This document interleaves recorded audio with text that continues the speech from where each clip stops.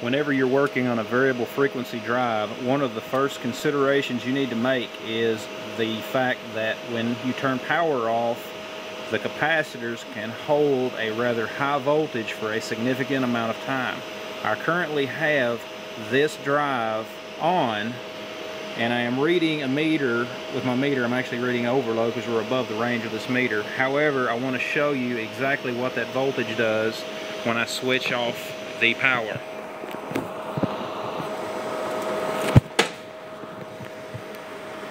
Now you can see the disconnect is turned off. The drive panel is still lit for the moment. However it will shortly go out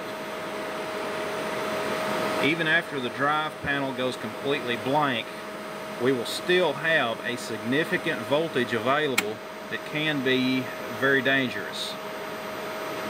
Uh, just a couple more moments we see that the panel is powering down. Now the panel is completely off. I still have my test probe on the DC bus and as you can see here we still have over 300 volts on the drive turning the light panel on may help a bit. But you can see uh, it's 300 volts. It's slowly bleeding down. However, for a moment of time though, that can be very dangerous. So you definitely want to make sure that you have no voltage available whenever you go in to service a drive. Check the DC bus as well as your incoming power to ensure that there is no voltage available on any of them. Even after checking the DC bus voltage, however, the capacitors inside the drive can still store a significant amount of power.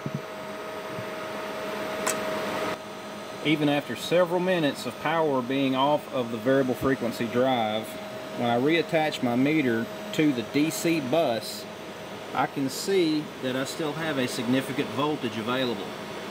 Whenever you service a variable frequency drive, you need to ensure there are absolutely no power sources available and that includes charges within the capacitors. Those capacitors can store lethal doses of electricity. Take every precaution that you believe necessary. In many instances when people see electronics they believe falsely that the voltage is very low Many of our household electronics do have low voltages. However, when we get into industrial applications and particularly variable frequency drives, on the electronic circuits themselves, there can be very high voltages. This pin that you're seeing here, the two black wires that surround the two red wires, there is high voltage on those. That's a total of 480 volts on this particular VFD. You need to remember to be very cautious when troubleshooting the electronics of variable frequency drives. The capacitors as well as other components in the system have the potential of having very high voltages available even after power has been disconnected.